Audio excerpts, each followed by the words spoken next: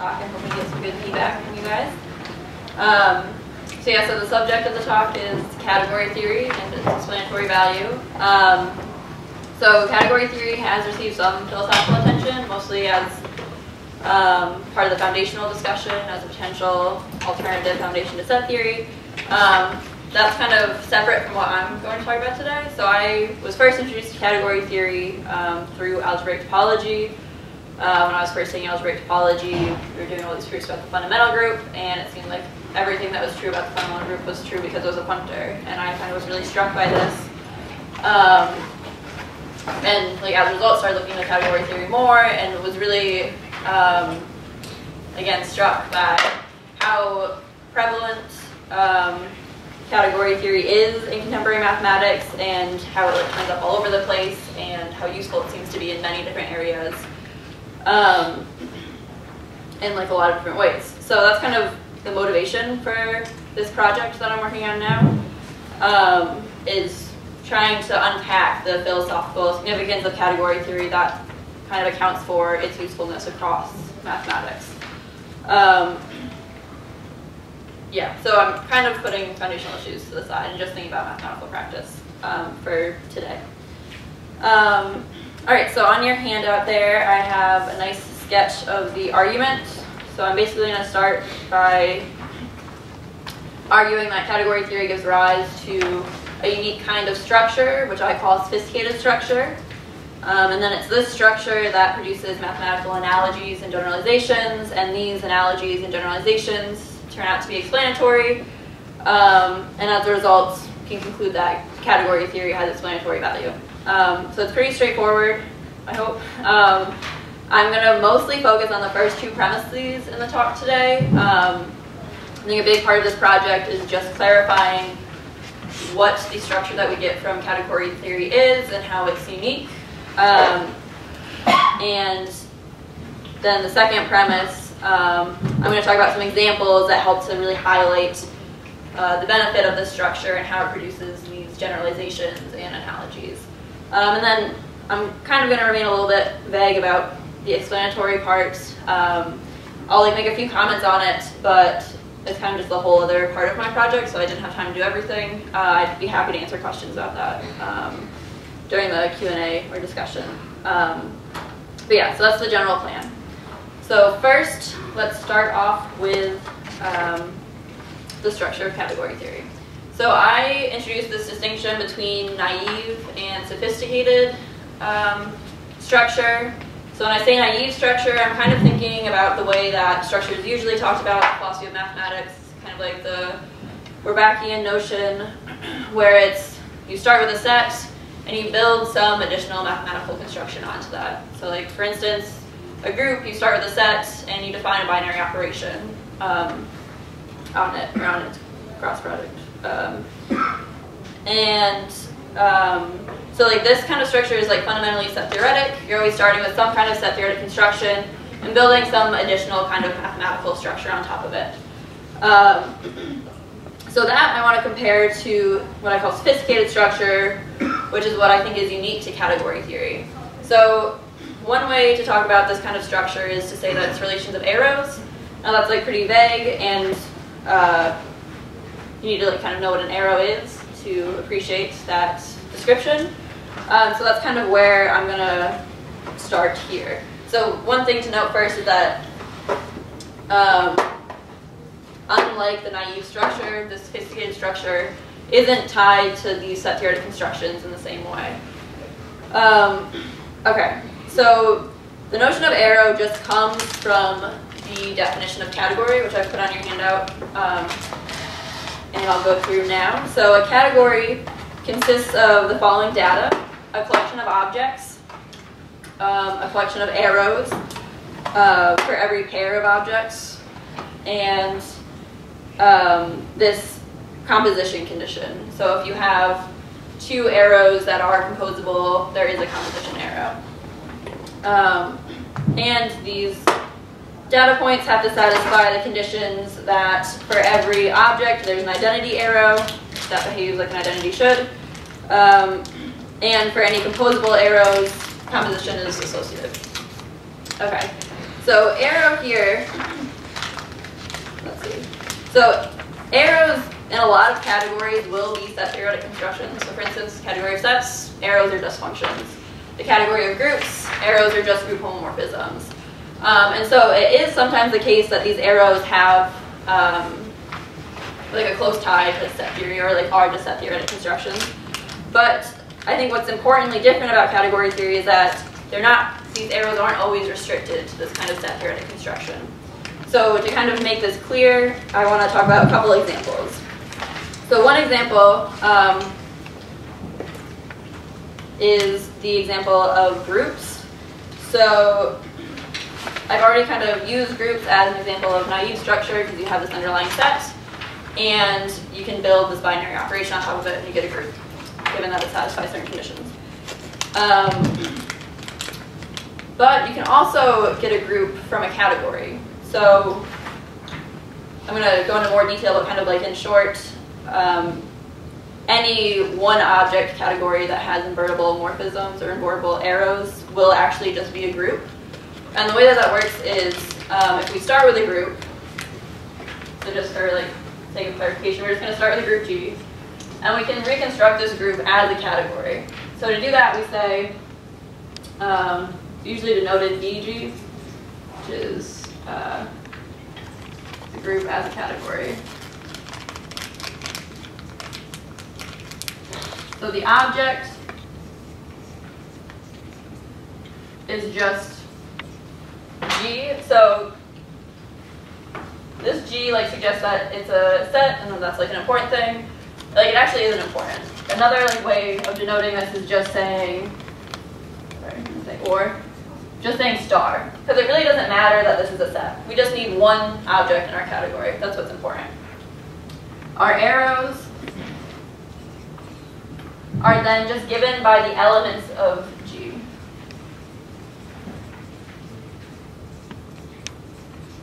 And composition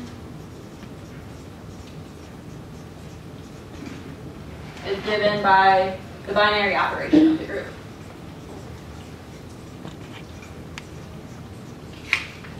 Okay. Um, so basically what this is saying is that we can replace all of these set theoretic notions with the category theoretic ones. So instead of taking the elements to be elements, we can say that they're arrows of this category. Um, and instead of taking the binary operation, we can just get that from the composition of the category. And so we're really just replacing all of these um, set theoretic elements of the group with these category theoretic ones. Um, and like I said before, so like we started with this group and reconstructed it, which is why we have like reference to set theoretic things. Um, but any one object category that has, um, whose like every arrow is invertible, um, will give you a group like this. So you can't just get it without starting with a group for reference. Um, okay, so again, these arrows, the elements of G, aren't set theoretic constructions. They're just elements. They're not functions.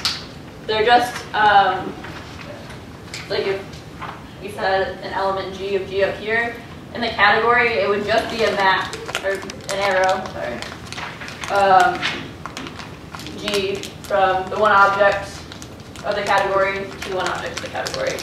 Um, and the composition relation will make sure that um, all of the axioms of a group are satisfied the composition together with, sorry, associativity and the identity condition on categories. Um, okay. So again, the arrows here aren't set theoretic. Another way of thinking about this distinction is to think of um, the example of posets. So it's also the case that any partially ordered set will give you a category. Um, to do this, you just interpret the elements of the set as the object of your category, and for every, sorry, and your arrows are given by if A is less than or equal to B, oh sorry, A is less than or equal to B, you can only have A arrow B. Should have written in the other order, but, so your arrows are just coming from the relation of your partially ordered set. And so again, this isn't a set theoretic construction, this arrow here. It's just corresponding to the relation that we get from the partially ordered set. Um, and so it seems like, or it is the fact that these arrows are just a more general, um, or a generalization of the set theoretic functions that we're usually talking about um, okay, so this is what I think is distinct about category theory and where it's um, like abstract structure is coming from. The fact that these arrows aren't limited to set theoretic constructions. Okay. Um, so yeah, so hopefully that gives you a taste of what sophisticated structure is. And as I talk about the rest of the examples throughout the talk, it should become more clear because we'll see more instances of where these come up and how they're distinct from um, the kind of like usual way of thinking about things. Okay. So let's see. So now I kind of I want to jump into talking about the generalizations and analogies that we get from category theory. Um, so I'm going to spend most of the time talking about generalizations, um, just because I want to make sure that I have enough time to unpack at least one of them, and then depending on how much time I have after talking about generalizations, I'll also touch on um, analogies a little bit. Um, okay, so I think there's two important ways that generalizations come up in category theory. Um, first, we get general constructions, and second, we get general theorems, kind of like corresponding to those constructions, but general theorems of which there's important mathematical results that are just corollaries of these theorems. And so I'm hoping, well, so I will give you a couple examples of each of these phenomena. Okay. Um, so perhaps the most important way that we're able to get general constructions from category theory is through universal properties. Universal properties are a way of defining mathematical constructions um, it's, it's an impredicative way of defining them, where basically you just have a diagram and the object being defined is the object that will make the diagram commute um, universally. Okay, so again, that's kind of vague and probably difficult to wrap your head around without an example. So I have an example on your handout for you. And the example I want to talk about is the categorical product. So um, the categorical product is the generalization of the, or corresponds to the notion of like Cartesian product. Um, so we're all familiar with the Cartesian product of sets, and we're familiar with the fact that in the context of groups, you can take the Cartesian product of groups just by taking the Cartesian product of sets and then choosing the appropriate binary operation. Um, or I guess like keeping the same binary operations for groups. And like similarly for like topological spaces, you can take the product of spaces by taking the Cartesian product of the underlying sets and then choosing the product topology. Um, so it's already kind of familiar that we're able to, in some sense, generalize this notion of Cartesian product to other categories or other contexts. Sorry. Um, but this notion of categorical product gives us a much cleaner way of doing this. Um, so let me just state the definition first.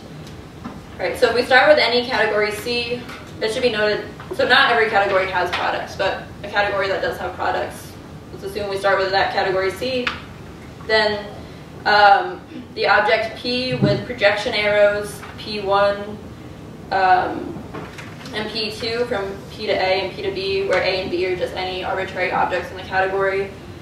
Um, so this object P with its arrows is the product of the objects A and B if given any pair of arrows um, X into A and X into B, where X is again an arbitrary object in the category, there exists a unique morphism or arrow U from X to P that makes the diagram commute. Um, so yeah, so in the category of sets, this project is product is just going to turn out to be the Cartesian product of two sets. In the category of groups, it's going to turn out to be the Cartesian product of groups. Um, with the natural binary operations, and like similarly with topological spaces and most other standard categories. So um, already this is nice because it gives us one definition that captures all these different instances, the instance of sets, groups, topological spaces, but it does even more than that because it applies in categories that aren't, that don't have objects that are these set theoretic constructions that we're used to. So for instance, you can build a category corresponding to a proof system that, um, such that the product of that category is just conjunction. So, so the details aren't too important, but this category is just, it takes objects, sorry, let me like be clear. So we fix the formal language L, then we can form this category by taking the objects to be the equivalence classes of the well-formed formulas under inter interderivability, and then the arrows will just correspond to derivability. Um, so maybe let me just write that out for extra clarity. So if we take, um,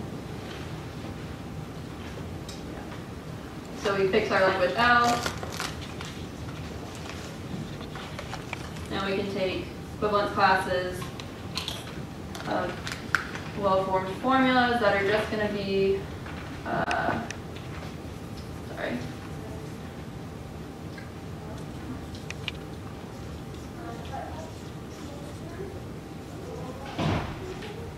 where alpha is related to beta if and only if beta is derivable from alpha and alpha is derivable from beta. Okay. So these are the objects of our category, and then the arrows are just given by, I'll use this, well, alpha arrow beta, if and only if beta is derivable from alpha. So this gives us um, a category that corresponds to the proof system and to a proof system, um, and moreover, uh, in this category, the product is just going to be conjunction. So we take alpha data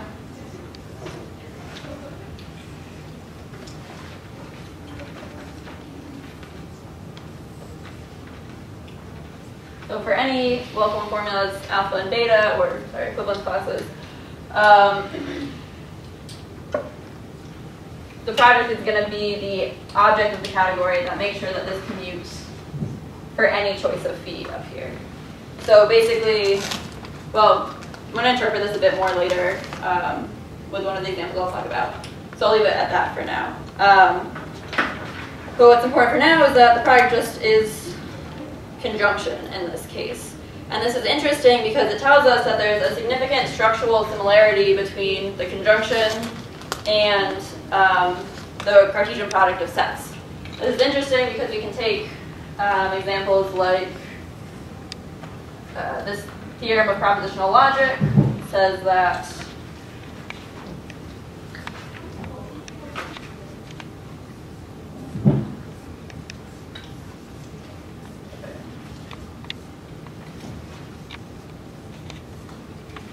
that says that the conjunction of alpha and beta implies gamma if and only if alpha implies parentheses beta implies gamma. So this is interesting because this this theorem actually is true for the same reasons that the set of functions from uh, A cross B into C is isomorphic to the set of functions from A to uh, Okay. So because conjunction and Cartesian product are playing the same role, they're both playing the role of categorical product in their respective contexts. Um, these two theorems are like true for the same reason. So it requires more than just the product. So let me say something about that first. So the product here, these are both instances of the categorical product. And then this here and this um, this like exponential ex exponentiated set. So this is just the set of functions from B to C. Um, these both are what's called the exponential object in the respective categories. So that's just another universal property. It has like a diagram somewhat similar to this. Um, and so this whole theorem is just true because of the relationship between the categorical product and the exponential object. So they're both true for exactly the same reason, and namely because the exponential object and the categorical product have um, this relationship called an adjunction at the category, at the level of categories. And so this is something that we wouldn't be aware of without category theory or without having this level of abstractness to talk about these uh, structural relations. But it's also kind of interesting because um, it's something that was kind of noticed that there was some kind of similarity going on between conjunction and Cartesian product, and that in particular these two statements were kind of related. Um, and so with category theory, we're able to give a more concrete explanation of how these are related and why they're related. Okay, um, kind of along those lines, this example in particular shed some light on an observation that Gentzen made. So Gentzen um, was interested in the relationship between introduction and elimination rules for natural deduction. Um, and he said something about how, uh, I put the quote there, I'll read it better than my paraphrase. Um, so he says, the introductions or the introduction rules represent, as it were, the definitions of the symbols concerned, the connectives, and the elimination rules are no more in the final analysis than the consequences of these definitions. Uh, this fact may be expressed as follows. In eliminating a symbol, we are dealing only in the sense afforded it by the introduction of that symbol. Okay, so elimination and introduction rules actually just come from these universal properties. So for instance, the elimination and introduction rules for conjunction are just coming from this diagram. So, these arrows because they look ugly. Um, so this down here, bottom part of the diagram is giving us an elimination rule. It's saying that if we have alpha and beta, then we can derive beta from it, and we can derive alpha from it. And the introduction rule is just coming from this top part. So the introduction rule says that if we have a proof from phi to alpha and a proof from phi to beta, then we also have a proof from phi to the conjunction alpha and beta. And so this relationship between the introduction and elimination rules that Gentzen noticed is really just coming from the fact that they're following out of this category theoretic structure. And like we have similar structures for disjunction and um, implication. So disjunction, kind of unsurprisingly, just corresponds to the dual of this diagram. It's called the coproduct. And implication corresponds to the exponentiation or the exponential object that I mentioned earlier. Um, and so all of these introduction and elimination rules can be traced back to this category theoretic structure, which is something that obviously Gentzen didn't have access to, but which helps us explain what Gentzen was noticing or the phenomena that Gensen was pointing out. Um, okay. So yeah, so both this Gentzen example and the example of these, the relationship between these theorems demonstrate how category theory is able to explain particular instances of things by um, by appeal to its like general theorems. And um, the universal properties that I've mentioned, like product and exponentiation, are instances of the general constructions that we get from category theory. So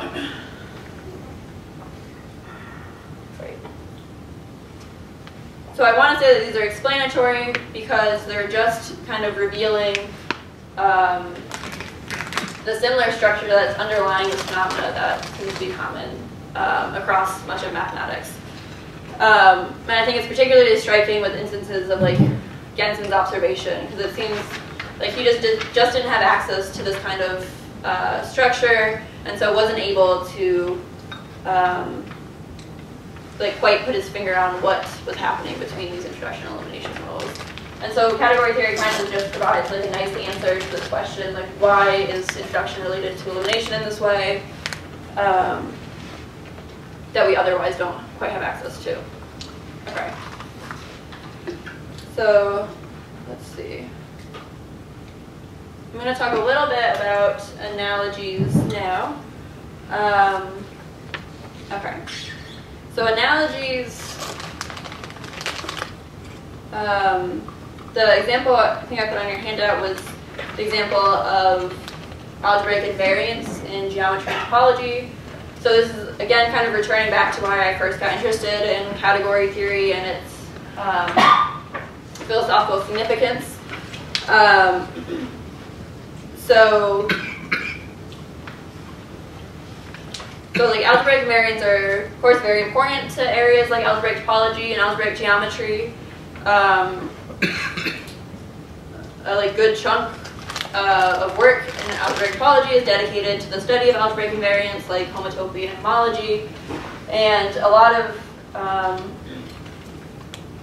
the power we get from these algebraic invariants comes from the fact that they are just category theoretic structures. So, for instance, um, the fundamental group is just a functor that maps from the um, category of pointed topological spaces to the category of groups.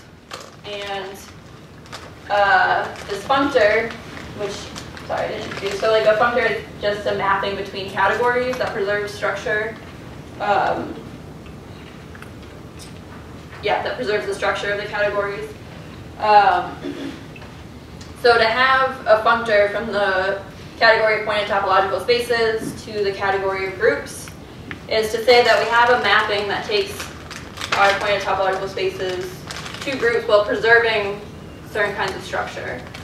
And so this is why it's valuable in algebraic topology, because we're able to translate or transfer talk of the homotopic properties of topological spaces to talk of groups, which often is like much simpler and kind of zeroes in on the properties that we're interested in, in the case of homotopy, uh, without uh, without like kind of having the whole topological space there. Uh, yeah, so it kind of, it's better to say it just zeroes in on the properties that we care about most uh, when we're studying homotopy.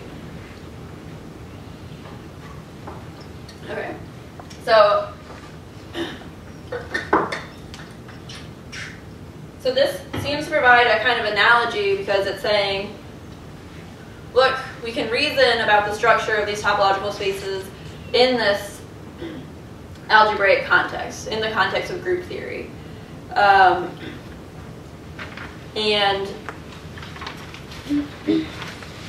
and so I want to say this is explanatory because it changes our the context of our discussion in a setting that's like kind of more familiar to us. So um, in the case of the fundamental group, we're able to uh, compute things about homotopic properties more easily in the uh, setting of groups. And I think that um, that the reason we're able to do this is partly because it's zeroing in just on the properties that we care about, and partly because um, we're just using more familiar group theoretic methods. And so, whereas uh, in this case, these analogies aren't really unifying in the same way as the generalizations where I think they're introducing a different kind of explanation uh, by um,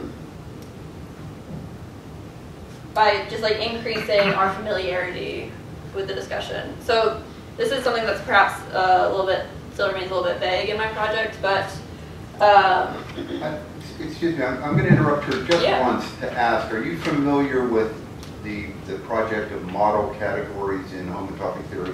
yeah, Okay, yeah, that's yeah. a- Um, So, so that's a direction to go with what you're, you're talking about, that we create new categories by, that relate to old ones. Yeah, yeah, yeah. Um, okay. So it's been a while since I've looked at model category, so that's something I should look at into in the future. I'm not prepared to speak on it today. Um, but yeah, so um, thank you. Though. Uh, sorry. But yeah, so the idea though is that, um, yeah, sorry. So I want to say that the ability to formally translate talk of one area of mathematics to another, like translating talk of topological spaces to groups, is allowing us to um, to kind of like increase our familiarity of that discussion. Um, so another example that's kind of perhaps a better example of analogy um, is the Stone duality theorem for Boolean algebras. So um, this theorem, which says that Boolean algebras are dual to Stone spaces, is um, is like just boils down to an equivalence of categories. So it's just the case that the category of Boolean algebras is equivalent um, to the dual category of Stone spaces. And so this, of course, um, Stone duality was around before uh, categories, but again, in this instance, we're kind of seeing that it's the category theoretic structure that underlies these constructions or these areas of mathematics that explains why they stand in the relations that they do. So it's because these two um, these two kind of like mathematical structures stand in this category theoretic relation that we have Stone duality. Um, okay. Um,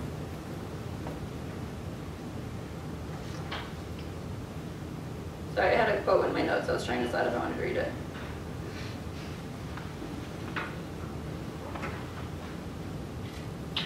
Yeah. So again, I mean, so um, the Stone duality theorem is just like very important because it allows us to uh, switch back and forth between talking Stone spaces and Boolean algebras, and in some cases it's more illuminating to talk about Stone spaces, in some cases it's more illuminating to talk about Boolean algebras. And so this has always been like a very important result in mathematics, but what's